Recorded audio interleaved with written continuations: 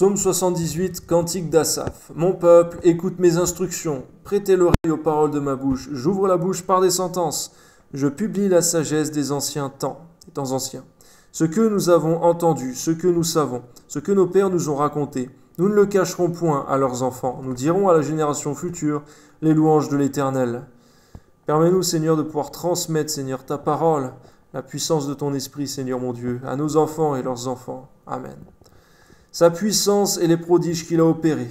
Il a établi un témoignage en Jacob, il a mis une loi en Israël, et il a ordonné à nos pères de l'enseigner à leurs enfants, pour qu'elle fût connue de la génération future des enfants qui naîtraient, et que devenus grands, ils en parlassent à leurs enfants, afin qu'ils missent en Dieu leur confiance, qu'ils n'oubliassent pas les œuvres de Dieu, qu'ils observassent ses commandements, afin qu'ils ne fussent pas, comme leur père, une race indocile et rebelle, Garde-nous, Seigneur mon Dieu, de nous comporter comme les Israélites dans le désert, Seigneur mon Dieu, qui ne t'était pas agréable. Amen.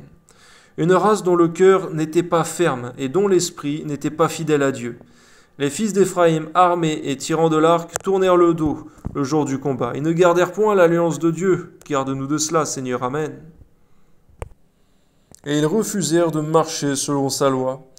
Et ils mirent en oubli ses œuvres, ses merveilles qu'il leur avait fait voir. Devant leur Père, il avait fait des prodiges au pays d'Égypte dans les campagnes de Tsoan. Il fendit la mer et leur ouvrit un passage. Il fit dresser les eaux comme une muraille. Il les conduisit le jour par la nuée et toute la nuit par un feu éclatant. Il fendit des rochers dans le désert et il donna à boire comme des flots abondants. Du rocher il fit jaillir des sources et couler des eaux comme des fleuves. Mais ils continuèrent à pécher contre lui, à se révolter contre le Très-Haut dans le désert. Ils tentèrent Dieu dans leur cœur, en demandant de la nourriture selon leurs désirs. Ils parlèrent contre Dieu et dirent Dieu pourrait-il dresser une table dans le désert?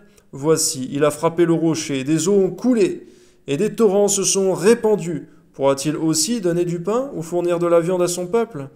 Garde-nous, Seigneur, de tenter l'Éternel, de te tenter, toi, le Dieu très haut, de plutôt être dans les prières, les supplications, mais de ne pas agir, Seigneur, comme il s'est fait dans le désert. Amen. L'Éternel entendit, et il fut irrité. Un feu s'alluma contre Jacob, et la colère s'éleva contre Israël, parce qu'ils ne crurent pas en Dieu, et parce qu'ils n'eurent pas confiance dans son secours. Garde-nous, Seigneur, telle incrédulité. Amen. Il commanda aux nuages d'en haut, et il ouvrit les portes des cieux, et il fit pleuvoir sur eux la manne pour nourriture. Il ordonna le blé du ciel, c'est vrai, Seigneur, est écrit dans ta parole qu'il est bon d'attendre en silence le secours de l'Éternel. En silence, non pas sans prier, mais plutôt sans gémir, sans se plaindre, Seigneur. Amen. Ils mangèrent tous le pain des grands, et leur envoya de la nourriture à satiété. Amen. Il fit souffler dans les cieux le vent d'Orient, et il amena par sa puissance le vent du Midi. Il fit pleuvoir sur eux de la viande comme de la poussière, et comme le sable des mers des oiseaux ailés. Il les fit tomber au milieu de leur camp, tout autour de leur demeure, ils mangèrent et se rassasièrent abondamment. Dieu leur donna ce qu'ils avaient désiré. Seigneur, on voit que rien ne impossible, Seigneur.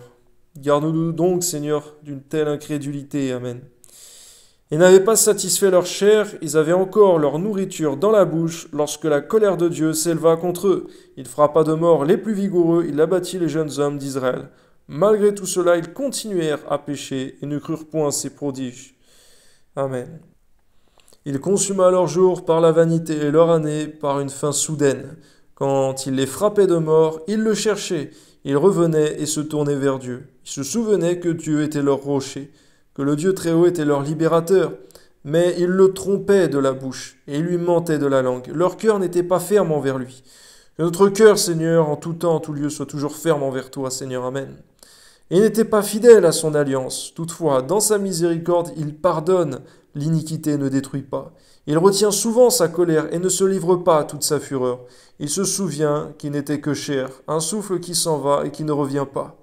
Combien cela nous pousse à l'humilité, Seigneur, et à la crainte de Dieu. Que de fois ils se révoltèrent contre lui dans le désert, que de fois ils l'irritèrent dans la solitude. Ils ne cessèrent de tenter Dieu et de provoquer le Saint d'Israël, et ne se souvinrent pas de sa puissance. On voit, Seigneur mon Dieu, que le mal, Seigneur mon Dieu, il commence à naître dans le cœur avant de se manifester de façon réelle.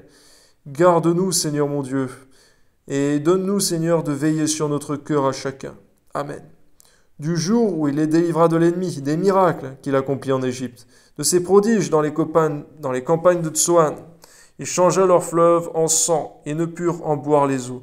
Il envoya contre eux des mouches venimeuses qui les dévorèrent et des grenouilles qui les détruisirent. Il livra leur récolte aux sauterelles, le produit de leur travail aux sauterelles. Il fit périr leurs vignes par la grêle et leurs sycomores par la gelée. Il abandonna leur bétail à la grêle et leurs troupeaux au feu du ciel. Il lança contre eux son ardente colère, la fureur, la rage et la détresse, une troupe de messagers de malheur. Il donna libre cours à sa colère et ne sauva pas leur âme de la mort. Il livra leur vie à la mortalité, il frappa tous les premiers-nés en Égypte, les prémices de la force sous les tentes de Cham.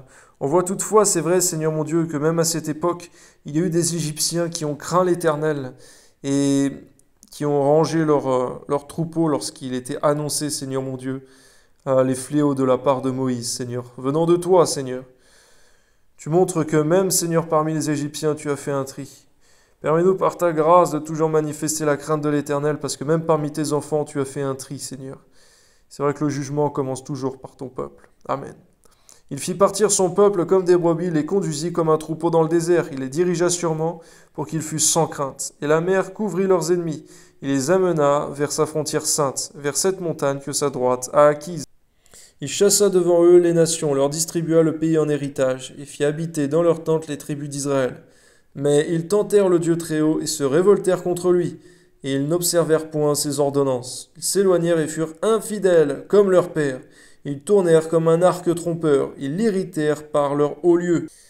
Garde-nous dans notre cœur, Seigneur, d'avoir des hauts lieux, Seigneur, mon Dieu, d'avoir toutes sortes d'idoles, Seigneur, et de te tromper dans notre cœur, Seigneur. Car tu as dit, Seigneur, qu'on ne peut pas avoir deux maîtres. Oui, Seigneur, qu'il faut choisir. Permets-nous par ta grâce, Seigneur, de toujours te mettre en premier dans nos cœurs. Amen.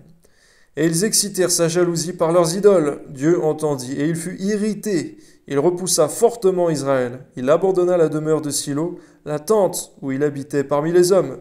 Il livra sa gloire à la captivité, sa majesté entre les mains de l'ennemi. Il mit son peuple à la merci du glaive. Il s'indigna contre son héritage. Le feu dévora ses jeunes hommes, et ses vierges ne furent pas célébrées. Ses sacrificateurs tombèrent par l'épée, ses veuves ne pleurèrent pas. Le Seigneur s'éveilla comme celui qui a dormi, comme un héros qui a subjugué le vin.